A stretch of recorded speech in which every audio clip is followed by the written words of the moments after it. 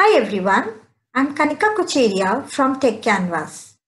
Today we will talk in detail on the use cases where artificial intelligence works wonders for test automation. So let's proceed. In the previous video, we learned what is AI and evolution of software testing. With AI coming in, we can rightly say that third wave has struck in the world of software testing. AI removes flakiness of the test cases. We all have experience that in UI testing, the test scripts are quite brittle. AI provides solution for this problem. With AI, we can automate based on mockups much before the actual development to start. And thus, it saves a lot of time. AI can learn the page load behavior and thus we can get rid of the n number of sleeps and waits from our scripts. AI-based test automation gives a better test coverage as well.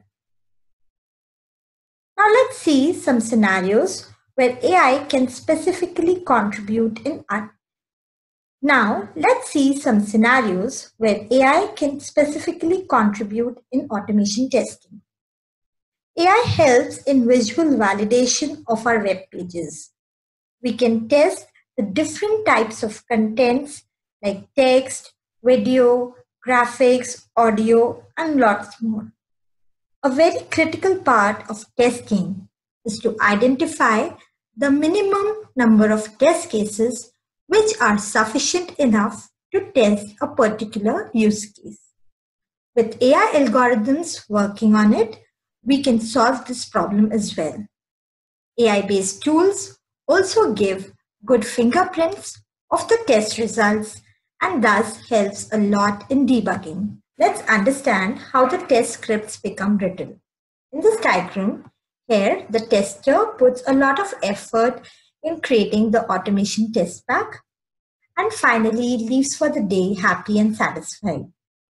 Later, the developer, as a part of some requirement change, modifies some web elements also.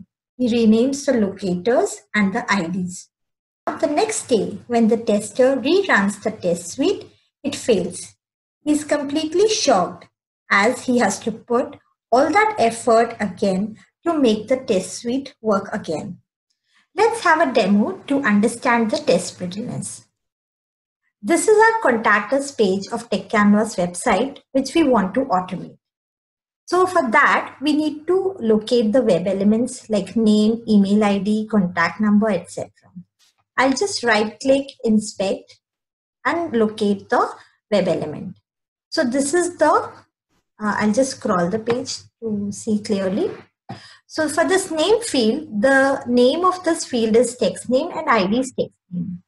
Similarly, for another field, uh, say email, the ID is text email. For example, if the developer changes the ID of these fields, say name, email ID, etc., and we have used the locator strategy in our automation script on ID, our script will break. Our test scripts become brittle. We now again have to rework on our automation script location strategy or identify new locators. So this was about the test brittleness. Now let's have a demo on Testim and see how we can have more stable test cases and get rid of the test flakiness. To start by creating your first test case. Here you need to provide the base URL of your web application here I have used the Techcanvass URL. Then you need to click on this red button to start the recording. Let's see what happens. It has opened the Techcanvass website. Now I'll click on contact us and record all the steps of my test case. So I'll give all the details, name, email ID, I'll give the other details like contact number. Select one of the drop down option. give some message and click on submit. So this was all about my first test case. So now I'll go back on Testim and stop the recording. We can see that in the dashboard, it has captured each and every step one by one during the recording. Let's execute the test case and see what happens. I'll click on play button. It will open up the web page, navigate and do whatever steps were recorded as a part of testing. Once all the steps are executed, it will show that test has been completed successfully. Let's go back on Testim and see what has happened. Here we can see that in each and every step, it, it gives a quite a good feedback whether the execution has been successfully done or not by giving a red or green mark. In the background, AI algorithms help in parsing the DOM structure of the whole web page and helps it in making a list of all the attributes of the web element. For example, in this step where we click on the submit button, if I click on properties, it will show me the list of all the locator strategies it can use to locate that web element. So here we can see that ID, type, name, class, etc. There's a long list. So it has a detailed list of all the locator strategies that can be used to identify that particular web element. So till now, what we have seen is like what any other test automation tool will work. Now let's see the real magic of Testim. A scenario where a developer makes some changes in the UI. Say for example, he renames the button submit as enter. So what will happen, how the self-healing mechanism of Testim behave, let's see that. So in my recording, I'll add a breakpoint. I'll click here.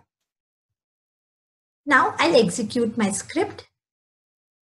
So all the steps are executed again and it will pause where we have added the breakpoint.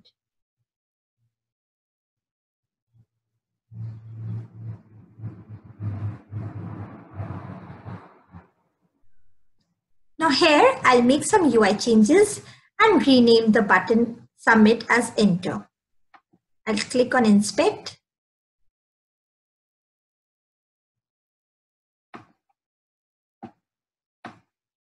So here in this button, I'll change the name as enter. I'll also change the attribute value as enter as well as I'll change the ID. A lot of UI changes have been done. Now let's see what happens. We'll go back on our Testim dashboard and pause the breakpoint and start the execute the script again. So here we can see the script has been executed successfully. Let's go back to the dashboard and see in detail. Now let's see what happened in detail. I'll click on screenshot. In the last baseline run, we can see that it was submit button and in the current run, it was enter. But still, Testim could locate the button correctly. It was all because there were AI algorithms running in the background, which gives Testim a self-healing mechanism. So we have seen how Testim, which is an AI-based automation testing tool, is really helpful in writing the self-healing scripts which are not brittle anymore. Now let's talk about other features which Testim has to offer. We, uh, we saw that how quickly we could automate our testing with no coding experience needed.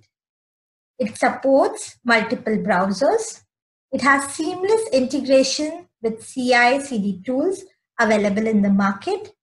Testim provides useful insights via text and visual differentiation of the test results. With the help of screenshots, we can defer the results in more detailed manner. There are many other advanced features in this tool, which makes it all the more a good option for AI-based test automation. So this was all about the use of AI in test automation. Keep tuned for more videos on Techcanvass. Thank you.